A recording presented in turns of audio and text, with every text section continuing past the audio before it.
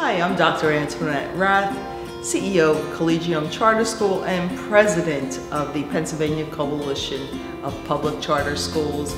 And I hope you had a wonderful day today at our 2016 Making a Difference in Charter School Conference. The morning began with a fantastic keynote speech from Mr. Laderick Horn, who talked to us about um, childhood classifications and the power of inclusion that goes beyond classification. After Laderick's speech, conference participants divided into small breakout sessions and heard fantastic presentations on closing the achievement gap, on legislative and legal updates, and tips generally for effective school leaderships.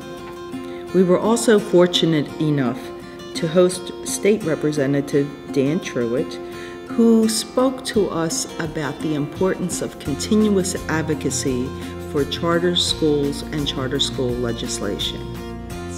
On behalf of the staff of Collegium Charter School and on behalf of the Board of Trustees of the Coalition, we hope you had a fantastic day. We hope that the sessions were beneficial and we hope you really took advantage of a unique day of learning and networking.